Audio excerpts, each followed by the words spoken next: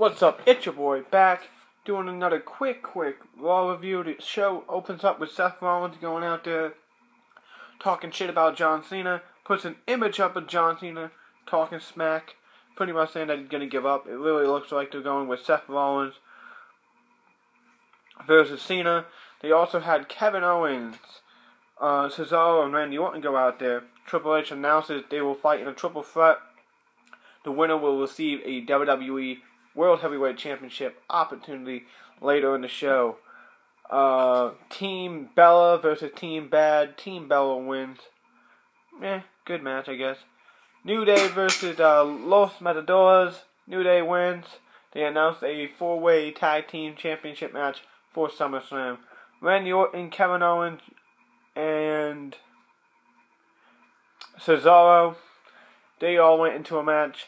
Randy Orton won, but this was absolutely amazing. Good match here.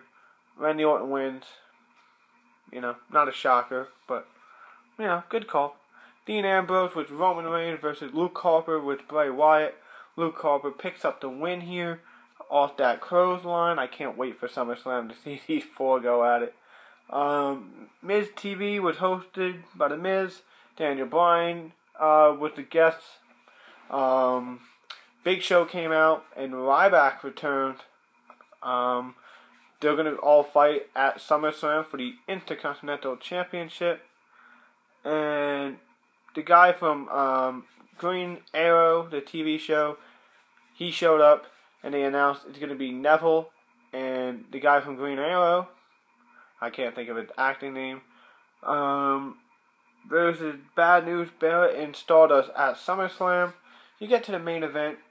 Randy Orton versus Seth Rollins. Seth Rollins won by disqualification. Sheamus wanted to cash in. Referee argued with him.